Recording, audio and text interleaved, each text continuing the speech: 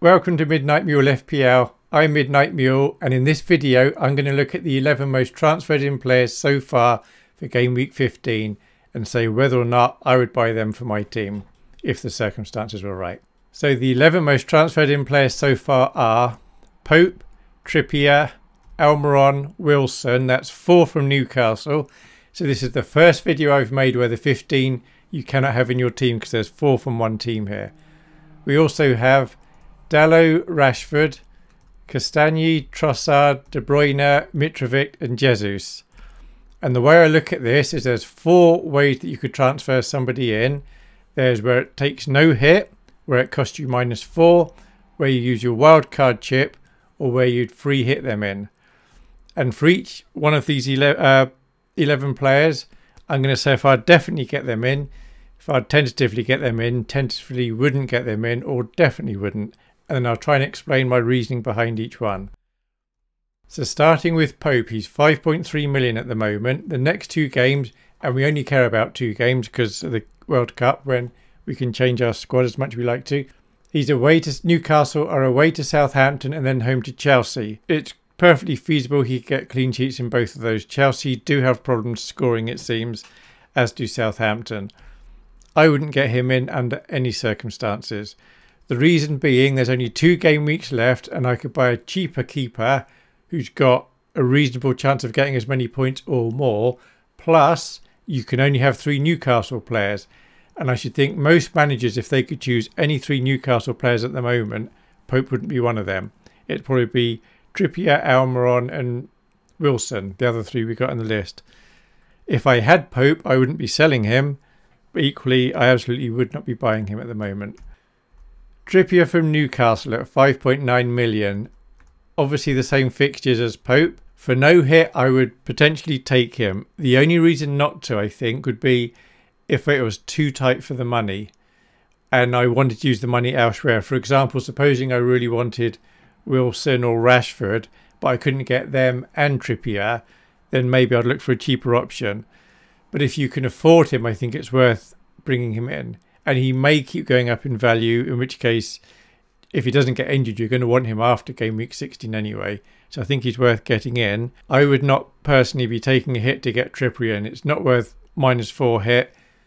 I think Newcastle have a good chance of getting one or two clean sheets. But for me, it's not worth the minus four. The only way I'd maybe do a minus four would be if I only had two playing defenders for the next two weeks. Then, okay, it's worth taking a hit. But I wouldn't take a hit for him. Worth doing on a wildcard chip. Yep, why not? If you're going to mix your whole team up, Trippier is probably somebody you want on there. Another very important reason to have Trippier is he's very highly owned. So if you don't have him and he does quite well, it's going to cost you a lot in the ranking points. I would not free hit him though. If I had a free hit chip, I could make a team up with defenders that would have more chance of scoring, I think, than Trippier this coming game week. Castagne of Leicester. Leicester have been very good recently defensively. He only cost 4.6 million. Away to Everton, away to West Ham. Both these teams can have trouble scoring goals, but I almost certainly would not be bringing him in. I've made it a tentative no because at that price point of 4.6 million, that may be freeing up funds elsewhere. Of course, he may be getting a clean sheet, but I I think there are other defenders you could choose around that price or maybe a little bit more expensive that probably got more chance of a clean sheet. So I wouldn't bring him in probably even if he didn't cost me a hit. I definitely wouldn't take a hit to bring him in. Wildcard chip would be no and a free hit chip would be no. I just think there are better defender choices out there for the last two weeks. Dalot for Man United away to Villa and away to Fulham. Man United have also had very good defensive numbers recently. Dalot's got very good attacking uh, potential, I'd say. So for no hit potential, I would bring him in. So he's 0.2 more than Castagne was, but I think he's got more chance of getting more points. So I'd be okay to bring him in for a no hit. I would not take a hit to bring him in. Wildcard chip, I'm saying yes uh, to make a team going forwards, okay. Free hit chip, I'm saying definitely yeah. Against Aston Villa, Aston Villa are having trouble scoring goals, it seems, at the moment. I know they beat Wolves, I think it was 4 0, but that was Wolves, and Wolves have got major issues at the moment. The only slight doubt or issue with Dalot is he's on four yellow cards. So you're risking he's going to get a yellow against Villa and then you have to either do another transfer or play someone off your bench against Fulham. That's the only downside really that I see with him. If you're liking this sort of thing, I put this in here to remind me, please do subscribe and then it's nice for me. I can see the number goes up 224 at the moment. The last video like this, there were 214 views, although most of them don't watch it to the end, to be fair. And I got 20 likes. That's nice. Nearly 10% of people watching it liked it.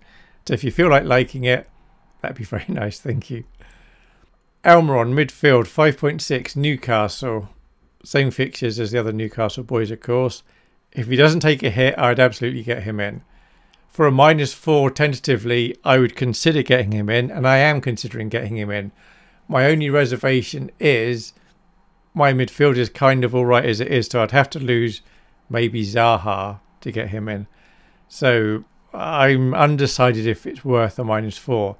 A reason to bring him in is his ownership is going up a lot, and if he keeps to do doing well and you don't have him, it's going to really cost you in the rankings.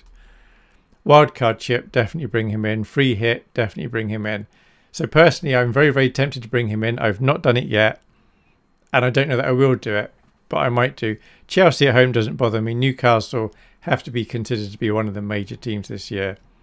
I would expect Newcastle to beat Chelsea at home. De Bruyne, 12.5 million, home to Fulham, home to Brentford. Absolutely, I'll bring him in under any circumstances if he fit with your team. Now, the trouble I've got, and I've not got him, is I have three Man City players. None of them are currently midfielders. So the only way I could bring him in realistically that's sensible is if we find out before the deadline that Haaland's injured and will be injured until the World Cup, then I'd probably sell Haaland and bring in De Bruyne and obviously do another transfer for a different striker. But if he fits into your team and you can afford him, I would absolutely bring him in. He could get a load of points the next two weeks. And after a fit Haaland, he's probably the player that's most likely to get a high score. Trossard, 6.9 million. That's Brighton. Away to Wolves and then home to Villa. As I mentioned earlier, Wolves are having major issues at the moment. I would absolutely bring him in if it didn't cost a hit. For a minus four, I'm saying tentative yes, because I am considering bringing him in, but it would cost me a hit. And again, it'd have to be probably for Zaha, yeah, would. I'd have to take Zaha out in order to get Trossard, and I'm more likely to get Trossard than Almiron at the moment. Obviously, things could happen in the news regarding one of them getting injured in training, etc. But I'm heavily tempted to get him in.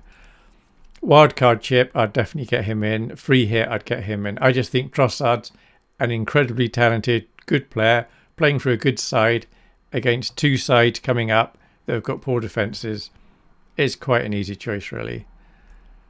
Rashford, 6.6 million. Now, I brought him in last week, so I do already have him.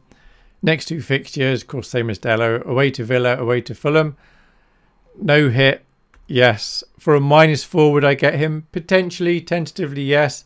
Depends who I was taking out to get him in. Like, I'd probably swap him for Zaha, okay.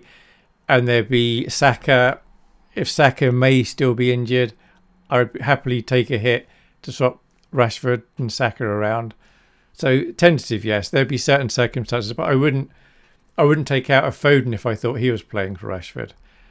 Wildcard chip, yes. Free hit, yes. I think Rashford. He's been playing very well recently, very attacking. He could easily get a haul in one of the next two games, so I think Rashford is worth having.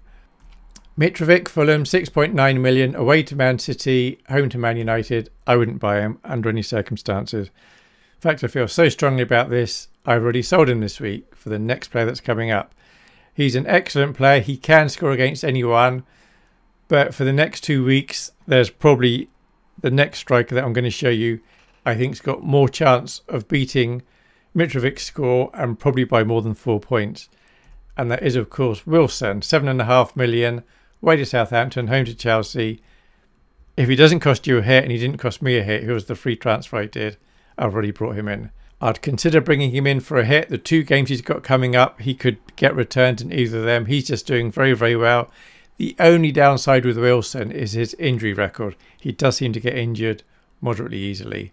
But if he stays fit, absolutely worth having. So wild card, yes. Free hit chip, yes, I'd get him. Jesus, 8 million, away to Chelsea and then away to Wolves. I would not get him under any circumstances. If I had him, I wouldn't necessarily sell him, but he's on four yellow cards. So if you buy him now, he's away to Chelsea, which isn't an easy fixture. He could get his fifth yellow card, and then you miss him for Wolves anyway. So I think for 8 million or less, you should better find three other strikers that are probably a safer bet. So there we have it for what it's worth, that's my view on what I think about the 11 most transferred in players this game week. Let me know which one do you think I got wrong there. And as I said, I've already made one transfer and I'm tempted to make another one or two. I don't mind taking hits. It cost me minus eight if I bring in Almiron and Trossard, but I've not decided yet.